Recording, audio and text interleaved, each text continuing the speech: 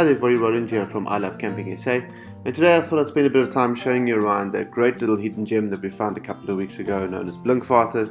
It's located just outside of Citrusdal, about 10 kilometers up the R303 as you head towards Ceres.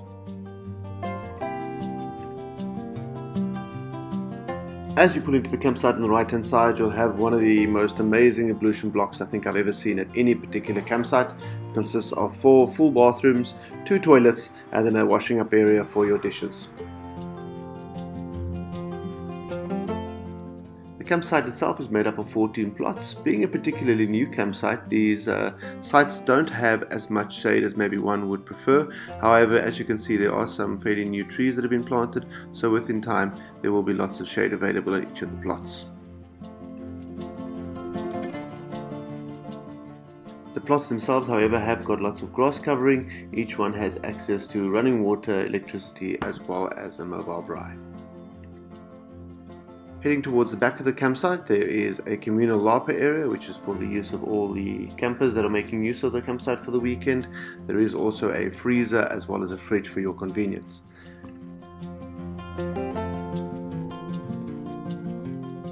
Being on the edges of the Cederberg, uh, somewhere to cool down is a must, and this campsite has got an absolutely amazing pool, which is fed via the river water.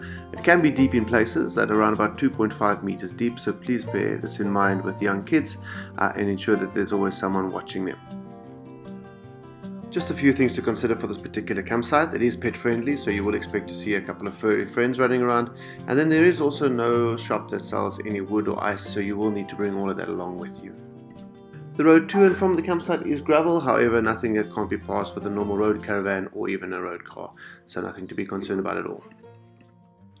Overall, we really enjoyed our time at Blinkwater, and I have no doubt that as the trees get a little bit bigger on the campsite, this will be a firm favourite amongst campers on the Western Cape. Let us know in the comment section below what you think of this particular campsite and if there's any other campsites that you'd like us to feature in the future. Otherwise, we'll see you around the campfire. Have a good one. Cheers.